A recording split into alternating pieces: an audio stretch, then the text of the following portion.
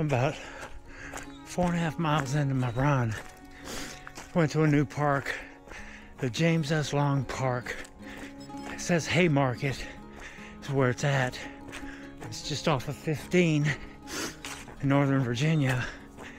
Which makes it easy because it's on the way to and from work for me. Never been here, it's the first time here. And I can definitely say I'm going to be coming back more. Trails are great.